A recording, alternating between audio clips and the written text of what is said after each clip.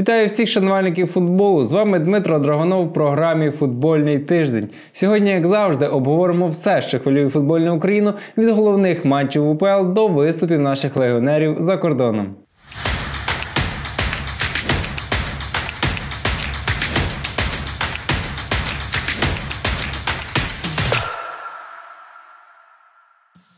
У стартовому поєдинку 15-го туру УПЛ Інгулець на виїзді зустрівся з Ворскою. Вже на 20-й секунді Інгулець шокував господарів швидким голом.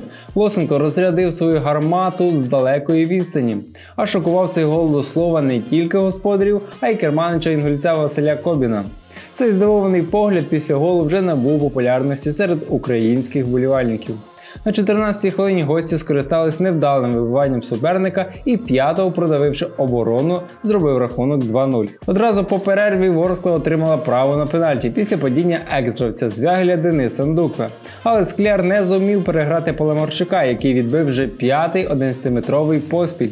Вортар повторив рекордну серію Дмитра Різника, який у сезоні 2021-22 за Ворсклу також відбив 5 поспіль пенальтів УПЛ. А на третій доданій до матчу хвилині білоцерковець довершив розгром влучним ударом після виходу на побачення з Ісенком. Як підсумок матч завершився 3-0 на користь інгульцям. Після цього матчу Ворскла посідає 11 місце у таблиці УПЛ, маючи 16 очок. Інгулець поки 16 9 балів в активі. У суботу, 30 листопада, Черкаський ЛНЗ у домашньому матчі приймав Рівненський Верес. Господарі активніше розпочали поєдинок та створювали більше моментів. В середині першого тайму Черкаський клуб вийшов вперед завдяки голу Яшарі. Перед перервою Рівненський клуб заробив право на пенальті, яке успішно реалізував Луан.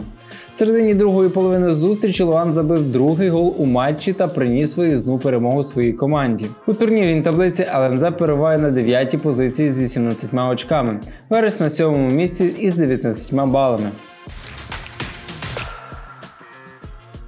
У другому матчі суботи Криворізький Кривбас в домашньому матчі приймав Житомирське Полісся. Героєм зустрічі став півзахисник криворіжців Єгор Твердохліб, який оформив хитрик, відзначившись на 11, 73, 86 хвилинах. Житомирці відповіли лише одним забитим м'ячем, який на 63-й хвилині забив Олексій Гоцуляк. Завдяки цій перемозі Кривбас з 25 очками піднявся на четверту позицію в УПЛ. Полісся з 23 балами опустилося на п'яту сходинку. Лівий берег врятувався від поразки у домашньому матчі 15-го туру проти земляків із оболоні. Поєдинок проходив за невеликої переваги команди екс-тренера Звягеля Сергія Шищенка, яка зуміла забити за секунди до перерви. Прем'єрним голом в УПЛ відзначився захисник Валерій Дубко. Лівий берег, у якого останнім часом зовсім погано з голами, до того ж один із головних креативників Олег Синиця вилетів на 6 тижнів, трохи активізувався у другому таймі, але довгий час не створював нічого істотного біля Назарія Федорівського. Як і до перерви, розв'язка настала в останній миті. Рятувальний гол для господарів забив Якимів. Команда Віталія Первака зуміла забити вперше з 1 вересня, але відтоді протягом 10 матчів поспіль залишається без перемог. Цей результат не пішов на користь жодній з команд, які тепер мають по 10 очок. Лівий берег йде у зоні перехідних матчів, а оболонь у зоні виліту. Неділю 1 грудня Чорноморець на виїзді зіграв з Олександрією. Підвищені Руслана Ротаня відкрили рахунок на 16-й хвилині зустрічі. Дебютний гол на дорослому рівні забив 19-річний Данило Ващенко. На 17-й хвилині моряки залишилися в меншості. Іван Петряк отримав пряму червону картку за те, що штовхнув, а потім ще й обматюкав арбітра. Причиною такої агресивної поведінки стало те, що під час результативної атаки Олександрійців рефері нібито не побачив фол з їхнього боку. На 29-й хвилині матчу одеський клуб взагалі залишився у дев'ятьох. Богдан Будко заробив пряму червону картку через образливу репліку на адресу головного судді. Та йди ти який просив гравця вийти за межі поля, щоб отримати медичну допомогу. Після цього епізоду на поле вибіг головний тренер моряків Олександр Бабич, який хотів забрати команду з поля, але у підсумку він отримав жовту картку, а матч продовжився.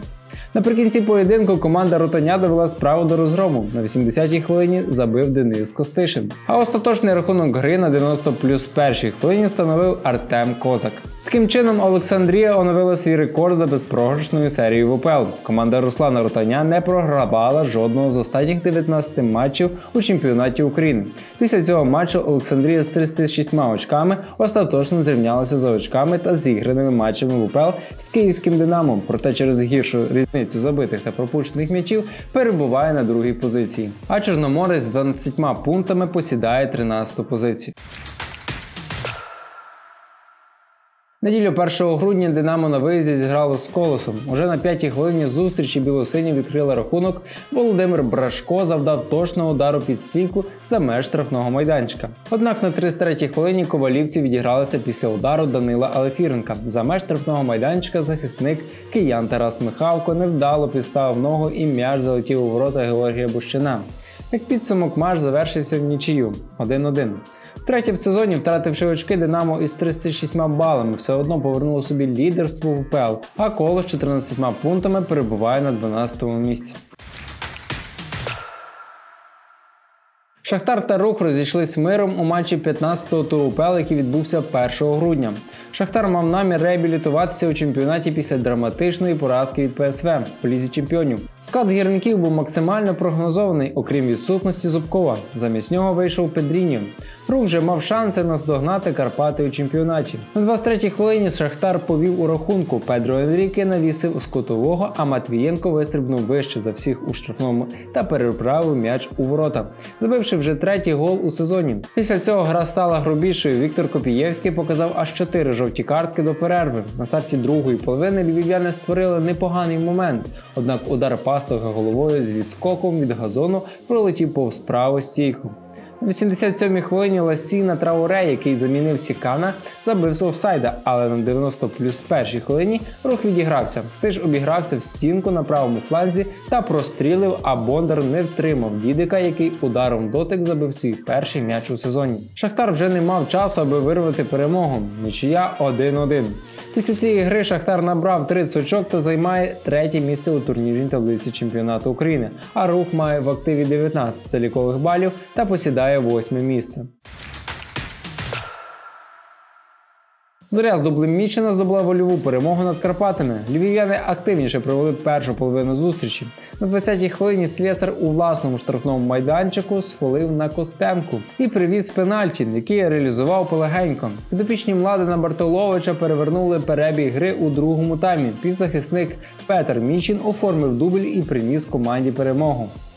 Зоря набрала 19 очок та піднялася на 9 місце в УПЛ. Карпати займають шосту сходинку, маючи 21 очко. Ну а зараз поговоримо про українських футболістів за кордоном. 17-річний Степанов дебютував за Байер у розгромному матчі в Лізі Чемпіонів. Він наймолодший українець в історії Ліги Чемпіонів. Юний український нападник Артем Степанов увійшов в історію українського та європейського футболу. 17-річний форвард дебютував за німецький Байер у матчі Ліги Чемпіонів проти австрійського Зальцбурга. Леверкузенці розгромили суперника з рахунком 5-0, а Степанов з'явився на полі на 73-й хвилині, ставши наймолодшим українцем, який коли-небудь грав у головному клубному турнірі Європи. Національний рекорд Ліги Чемпіонів на момент дебюту Степанову було лише 17 років, 3 місяці і 16 днів. Він перевершив рекорд, який тримався 20 років і належав екс-захиснику Шахтаря Дмитру Чигиринському. 18 років 1 місяць. Більше того, Степанов також побив рекорд наймолодшого українця-легіонера в лізі чемпіонів, обійшовши Олександра Зінченка. Це вже другий раз, коли Артем потрапив до заявки дорослого складу Байера. Перший шанс він отримав у матчі Бундесліги проти Гайденгайма, але на поле тоді не вийшов. Проте наставник команди надав йому нагоду у лізі чемпіонів, де українець не підвів. 2024 рік став справжнім проривом для Артема. В Ю-19 Баєра він став найкращим бомбардиром із 10 голами у молодіжному чемпіонаті. В Юнацькій лізі УЄФА дебютний гол проти Мілана. Збірні України після Євро Ю-17 Степанов дебютував у складі юніорської команди Ю-19. Також нещодавно Віктор Вацько заявив, що у Німеччині розглядають варіант запрошення 17-річного українського нападника Баєра Артема Степанова до складу однієї з юнацьких збірних. Степанов виступав за збірні України Ю-16, Ю-17 і Ю-19, що залишає можливість зміни спортивного громадянства. Що ж далі? Байер продовжує боротьбу у лізі чемпіонів, посідаючи п'яте місце у групі з 10 очками. Наступний матч леверкузенці проведуть 10 грудня проти Інтера. Чи отримає Степанов ще один шанс? Болівальники вже в очікуванні. Німецька преса захоплено відгукується про юного українця, називаючи його зіркою майбутнього. Михайло Мудрик знову забиває в лізі конференції. Вінгер збірної України Михайло Мудрик взяв участь у матчі Челсі проти німецького Хайденхайма, який відбувся у четвертому турі основного раунду Ліги конференцій. Українець з'явився на полі зі стартових хвилин. В першому таймі українець запам'ятався насамперед тим, що на 32-й хвилині міг заробити пенальті, але після перегляду вар арбітри вирішили, що Михайла у штрафному майданчику німецької команди не збивали. Однак хвилина слави Михайла Мудрика настала на 86-й хвилині, коли українець подвоїв перевагу свого клубу. Челсі виграв з рахунком 2-0. Синьобілі зі 100% результатом посідають першу сходинку у турнірній таблиці Ліги конференцій. Мудрик цього сезону зіграв 15 поєдинків за синіх у всіх офіційних турнірах. Три голи і 5 результативних передач. Трансфермаркет оцінює 23-річного лівого Вінгера у 30 мільйонів євро. Друзі, на цьому все. Дякуємо вам, що були з нами. Це була програма Футбольний тиждень. Сподіваємось, що наш огляд футбольних подій подарував вам корисну інформацію та приємні враження. Не забувайте стежити за оновленнями. До зустрічі наступного тижня.